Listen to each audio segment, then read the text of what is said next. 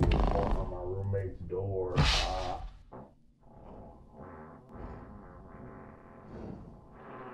oh, damn.